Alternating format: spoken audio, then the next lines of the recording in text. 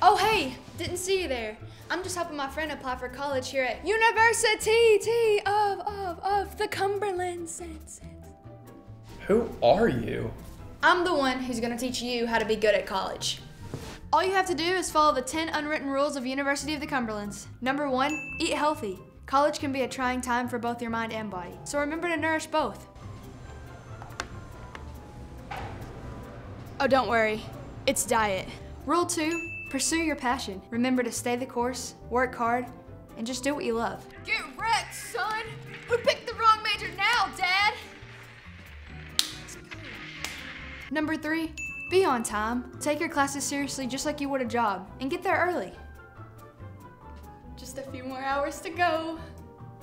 Hey. Rule number four, get out of your dorm room. Don't melt your brain watching lame videos on the internet all day. Welcome to Williamsburg, Kentucky, home of University of the Remember to like, comment, and subscribe to all of University of the Cumberland's great online content. Rule 5. Whether it's on the court or in the classroom, always be sure to bring your A game. Because if you're gonna bring that weak stuff into my house, don't even bother. Rule number 6. Study hard or grease the right palm.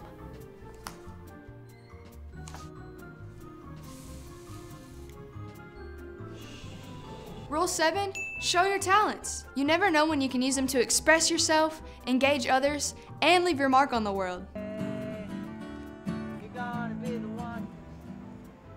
Or maybe not.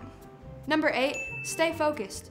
Remember that you're here to get a quality education, so don't let anything distract you. Hold on. This this dog has a pancake on his head. Wow. I'm sorry, what number were we on? Rule number nine, try new things. You'll never be in a better and safer environment to challenge yourself and grow.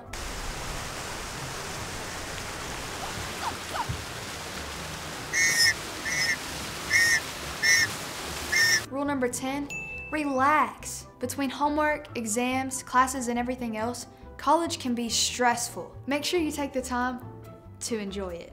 A lot of people forget how important it is to take care of yourself, you know? But not me. Not me. Have you been talking to me this whole time?